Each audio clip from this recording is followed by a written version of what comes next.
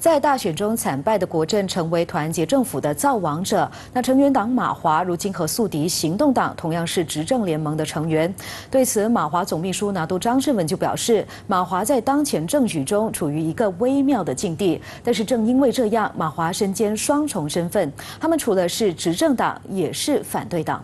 张胜文为马华妇女组第四十七届代表大会主持开幕之后，在脸书贴文指，当下的政治局势赋予了马华和之前不一样的身份，也是一个需要靠自己去开拓和发掘的空间。马华会确保，无论谁在朝谁在野，我国的多元中庸和民主自由都不会被动摇，也不会被颠覆。张胜文认为，在这个微妙又变幻莫测的处境里，马华要做的就是不轻易说放弃，而是在逆境中努力提升自己，争取人民的支持和认同。